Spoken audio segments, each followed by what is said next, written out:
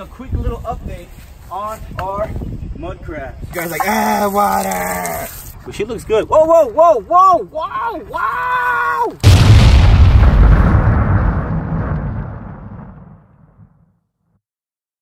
Whew. All right, Slayers, we're back at it with another Slay Venture, and we're doing a quick little update on our mud crabs. Gotta show you guys how they're doing. So I'm gonna drag them over here. Come on. Pretty heavy now.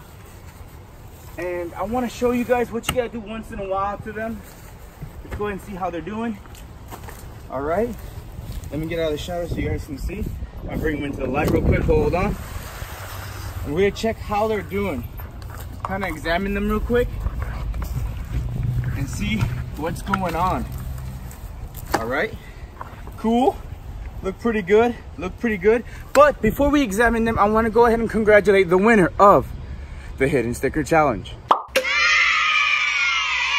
Congratulations to you, you went ahead and found those hidden stickers and answered the questions at the end of the video correctly. Slayers, if you want to go ahead and be shouted out at the beginning of the next video, be sure to go ahead and find those hidden stickers as well as answer the questions which are found at the end of the video. For those who are missing those hidden stickers, worry not. Because not every video I'm going to ask about how many stickers are in the video and what colors are those stickers. Just be, just be paying attention, look for those stickers, but be attentive as well because a lot of the questions are based on what is going on in the video. So today, like I'm saying, we're doing a mud crab update.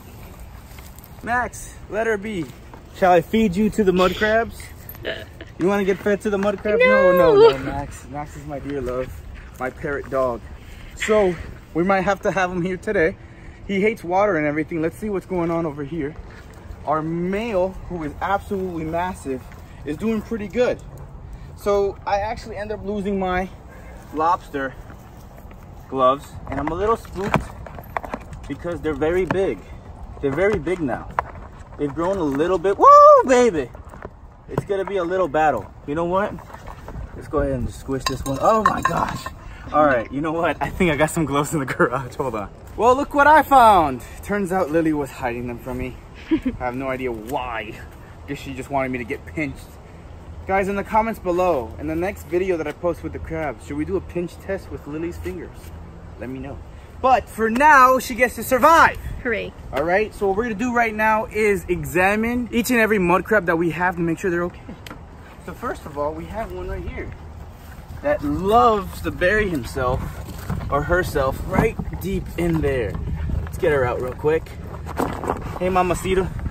What's cooking? Good looking? Well, she looks good. Whoa, whoa, whoa, whoa, whoa, whoa! All right, easy. Andale, hold. So she has all of her appendages. She looks good. Everything looks pretty solid to me. All right, all right, all right, Mamacita. We'll let you go back into your hole. As you can see, she loves the hide there. And based on the last video that I posted with them, you guys really wanted me to go ahead and talk about them again. So here we are. So we're gonna check these two. Oh, big man. Big man is crazy. Ah!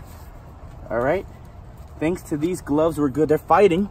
They're fighting good. And I don't want to put too much pressure to break any of their arms or legs. But this is a good sign because if they're fighting, that means they're doing good. And it looks like that leg is healing up and slowly growing. If you can zoom in right there, it looks like he's healing up and he's gonna be growing those appendages soon. You see that little nub? Yeah. It's gonna slowly grow back eventually once they molt. All right, we're gonna check this one out. Pretty good. Pretty good. Nice. Not so bad. All the eyes are there. Look at those eyes. That is insane. So, as you can see, everyone's doing pretty good. Pretty freaking good. Let's see what's going on over here. All right, Mama Mamacita. This one's missing all of her legs on this side, but she still has her claw. She's still purple. Still good and pretty. Oh. But all her legs are healing up from the time I guess she got wrangled or she got in a fight. I'm not sure what went down. But look, they're growing back easy. She's holding her own. And this one, of course, big old claw. I'm not gonna, I don't want to fight her too much to yank her out, but I win in this battle. Look at her so aggressive. Angar, Angar. so everyone's good. So I'm gonna show you what I've been doing to make sure your crabs are a-okay. If you want to keep land crabs, mud crabs, whatever crabs, just not the crabs that are in your pants. So Slayers, what I've been doing lately is feeding them leafy green romaine. This is like almost like a Miralax. What do you call those things that allow you to flush out your entire system? Laxative? Laxative. There you go. Thank you, Lily. I know you were good for something besides holding a beautiful camera and being beautiful and uh, yeah. Anyways, feed them the leafy greens, nice laxative, poops all the stuff out. Then you feed them good fruits, very good yummy fruits, sweet stuff like coconut, mango and everything like that so they can go ahead and get nice and fat so they can be very very tasty. I'm getting attached to these guys but i still have food on my mind as you can see. So what we're gonna do is feed them these two. I've been doing this a lot lately switching them with corn. And then once they're pooping a different color and stuff like that then you can go ahead and start feeding them mangoes anyways what i do is i feed them this in that nice clay bowl that i got and i do this as well. I go ahead and i choose a setting that's not gonna hurt them so much as you can see like this and I put some inside of their enclosure and I wet them. Get wet my friends, get wet. And I give them a nice little shower once in a while and I also bathe them in the sun. Let them sun dry, let them get some water. Now this is actually the water I use for them to go ahead and drink and be hydrated and everything. So I know you guys can't really see everything that's going on because of the shadows and the angles and everything like that, but they're getting soaked. This guy's like, ah, water. But I soak them to make sure that their gills are wet and everything like that, even though they also have lungs. They're very unique animals. So that's what I do once in a while when we're not having any rain around. But yeah, so there you go with that. They're nice and wet. Look at them drip. And they'll drink off their body as well. Let me get some clay pots. So I have my clay pots. So what I'm gonna go ahead and do is I'm gonna lay a clay pot there and I'm gonna lay a clay pot right there. What I've been doing is filling it up with water. On a better setting. Fill it up nice and whole. Every day I do this. I just how you soak your turtles and tortoises, I soak my land crabs. So they have nice, fresh, clean water. And that sits there and that turns actually pretty brown. They go in there, bathe, poop, the whole nine yards. So I'll wet them up. Don't fight me. Take your water. That's right. Look. Look at this guy. Look at this guy. I don't know if you can see, but look at his mouth. You see? Oh, yeah. He was drinking and everything like that. You see the bubbles that are coming out of his mouth. He's drinking, absorbing that water, absorbing that nutrients to be healthy and hydrated. So what I do also with, woo, my beautiful clay pots is I lay them one here and I lay, lay another over here. So I have my leafy green romaines and what I'm gonna go ahead and do is lace them out for them. Just regular cuts, just lay them right there. I don't put too much because I wanna make sure they're eating. If there's a lot of leaves and they're still all there, I don't see that they're eating. But if I can see that a lot of the leaves are missing, therefore I know that they're eating. So another thing I'm gonna add today are some fruits. As you can see right here, look at those bubbles.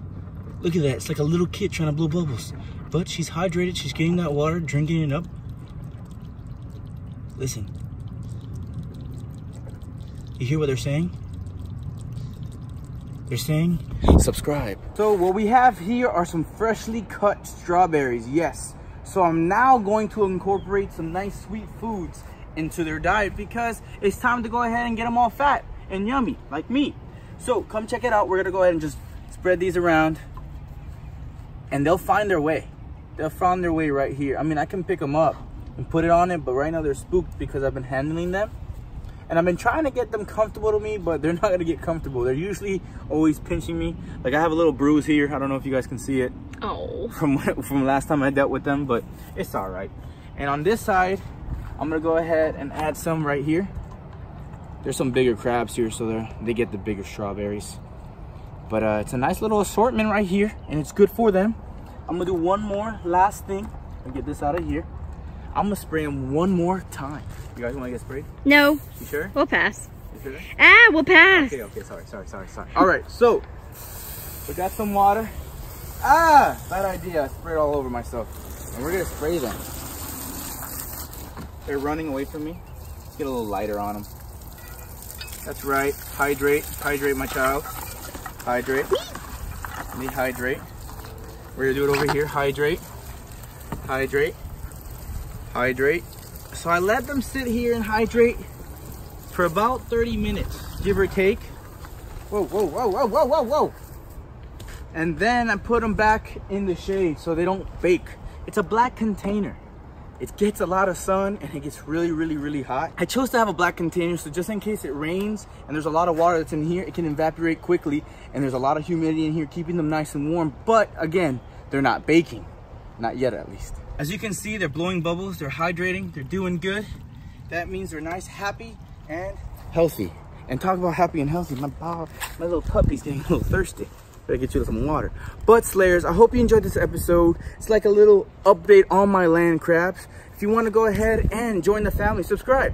What are you doing? You're missing out. There's a whole bunch of stuff. These could all be your pets. Only if you subscribe and join the Slayer family.